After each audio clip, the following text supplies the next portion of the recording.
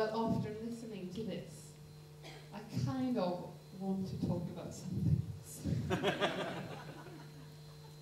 the thing is that I so much want to start a school. And I was thinking that perhaps I, I actually need to talk about that school. Or I could talk about some things that I strongly believe in, and then you can start a school. Any of you. Let's see. So I'm going to talk about co-creation, collaboration, how to work together, and why that is something that you all need to do to be more competitive while developing services. Because mostly of you, most people here in the room, are going to work with service innovation or service development. Because 80% of our businesses do that today in Sweden. So I was thinking of this. Last Thursday, I was really, really surprised. Because my company was awarded the titanium, it's called the titanium egg. Okay. The titanium award, something that the Swedish Advertising Association gives to uh, a company that's done something revolutionary for society, that's changed behaviors for lots and lots of people. Did, did, did I do that? Did my company do that? Did we develop SVT Play? No.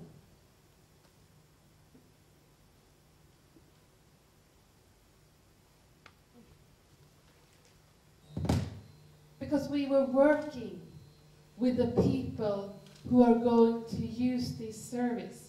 And together with them, the people who are happy, passionate, frustrated, the people who has a lot of expectations of watching TV in new ways. How should that be? We've been working together with them to create this service. And that's what I'm going to talk to you about. How do we do that? How do we take care of, of all that creativity that you all are kind of, what was it saying? It's lost for you. You had it, but now it's lost. And my business is based on how can we get the most out of you or the talents that we're working with. That's based on culture. It's my main belief that innovation, true innovation,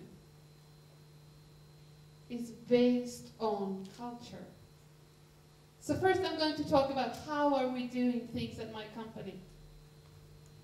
And I'm going to stand here for a bit also so that I can see this watch.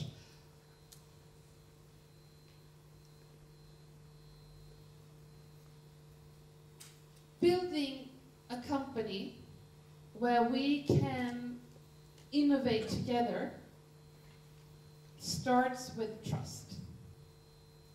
So it starts with how can I create a culture where you trust me so much so that you dare to jump, so that you dare to do all the mistakes. How can I do that? Is it like, am I going to tell you, trust me, give me your ideas, just try things, trust me, trust me, trust me? No, doesn't work like that. It starts with another thing. It starts with openness. It starts with openness that creates the relationships where we trust each other. So our culture is based on openness, and we need to invest in this. So this picture here, this is Herman, and this is from an event that we have three times a year, where we invest in our culture. So Herman here is talking about what's been some really, really good things the last couple of months? What's been some really, really bad things the last couple of months? And by doing so, he's telling all his colleagues what's been going on for him. He's opening up. He's talking about himself. And when he's doing that, it's very, very likely that his colleagues is going to open up themselves and say, I trust you. So now I'm going to reveal something about myself, which encourages Herman to reveal even something more, and we've started the trust journey. So openness is the key to building deeper relationships, and we need those deeper relationships to do more complex things. The more complex things you're going to create, the more you need to trust each other, the deeper the relationships needs to be.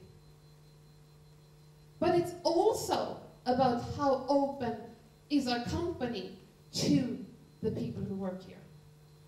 And that openness is, you know, that could be uh, a value that all companies in the world are talking about. Yes, we are very open. We open the books for everyone. Yes, that's easy. Piece of cake. But real openness when it comes to driving a company, for me, is actually to do it in a way so that everyone has the same opportunities to participate. So this is the way that we do budgeting at Doberman. I'm not just opening the books or the Excel sheets for everyone to work together with me. Because you know what happens? 75% are bored, and the others are just creating a wish list. But I created our budget in Lego.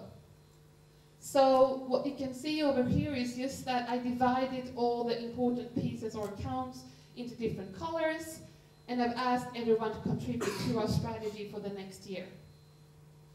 And everyone are enjoyed, they feel that they can participate, but they also understand that everything needs to fit together. So they cannot just ask for things. They also need to show me in Lego how they're going to finance it. And this works. I've done it for seven years. And some very, very interesting things comes from this. For example, 2007 we were going to move to a new office. And uh, from the Lego budget, people said, I'd rather have a nicer office than a higher salary next year. Do you think that I could have said that to them? Do you think that I could, you know, have a Monday meeting say, okay, next year you're not going to have a, a raise in your salary, you're just going to have a nicer office? No, but by having them included in the process, they understood that they needed to choose. And they chose the office, where they here are actually trying to create some new spaces in our office together. So I would say that a truly uh, participative approach to how we are driving our company is a key to create some great services. Another, another thing I think is very important is that we uh, inspire people to come up with their ideas. So this is a picture where I try to symbolize how we do, uh, we have something that we call plus menu at Doberman, and that's invented by someone working in our team. So uh, he said, I don't think that people always want to have money as, uh, you know, to show them how good they are. Some people want to have more time. Some people want to have uh, education. So we did the plus menu. Okay, you have your, you know, Big Mac and Company. So you have your salary and your pension and your vacation, six weeks and all that. But each year, when you're going to negotiate of a higher salary, you negotiate about plus. So a plus could be one extra day of vacation, or it could be higher salary, or something like that. Again, people can choose what they want to have, and they could. We have some tools for them to participate in how we do this. This also goes for our clients.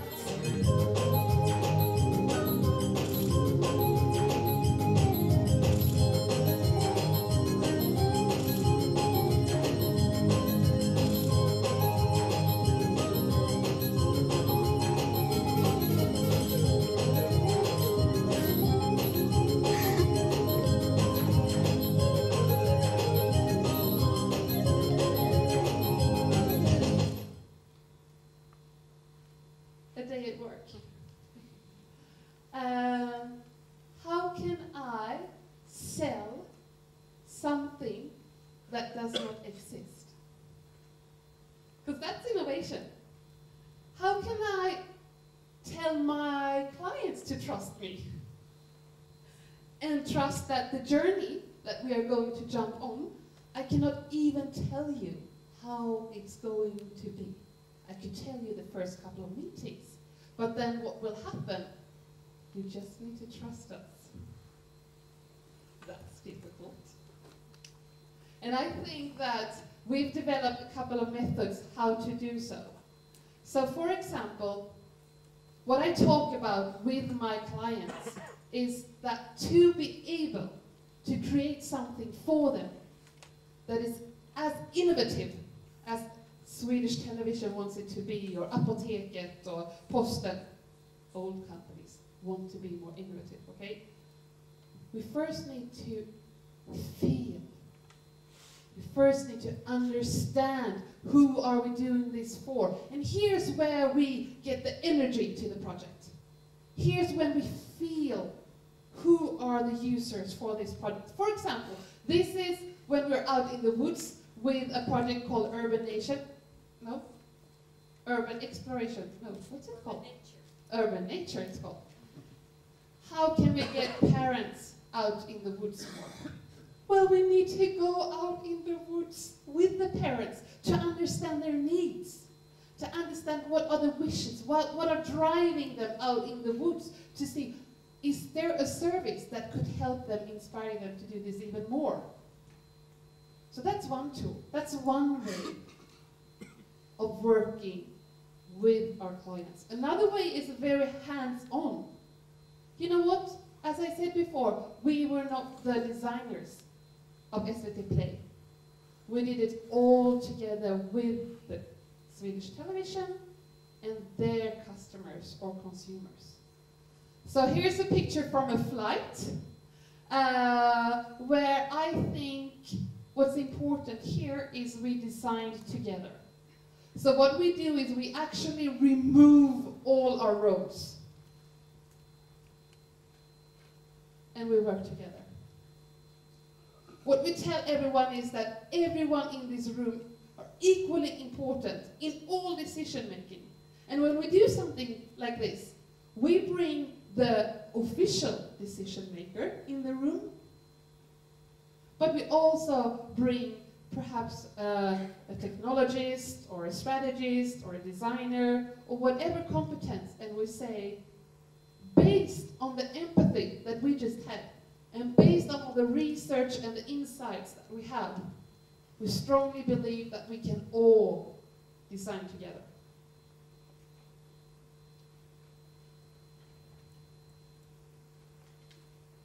So instead of, instead of talking about multidisciplinary teams, perhaps it's intra-disciplinary teams.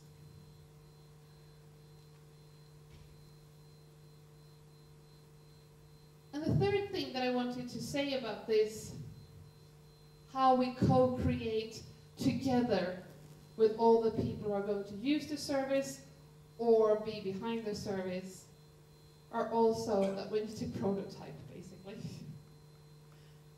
And that's something that a lot of people are talking about, but I so much strongly believe that we need to do it. We need to try, and we need to do instead of writing PowerPoint documents. I mean, just remove them and start creating instead. Together. So here's an example where we were going to uh, do a new concept store for Telia, where they would like to have all these different screens on the walls and everything, and it was so cool designed, but no one thought about how ends consumer going to perceive this.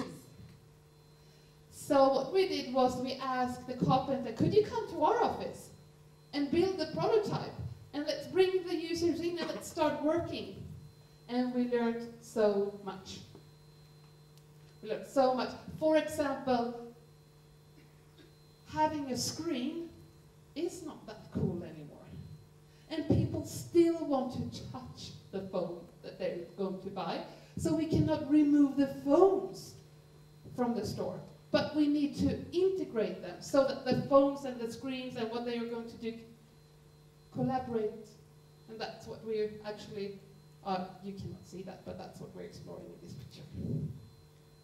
Collaboration. But we, from this, we also got some really strong ambassadors because people have been there watching the users using the prototypes and they could then tell their bosses, I know how it works because I've been there and we need to do this and that to be able to great, do a great experience or whatever we're going to do. So my message is of course not that we're here to win any awards. Or, I mean, I'm thinking I'm not even that proud of how this looks, or perhaps not even how it works. Because my message is that true service innovation happens when you're using it. It doesn't exist even before the usage is there. And to be able to do so and to be able to create this, we just need to do it together.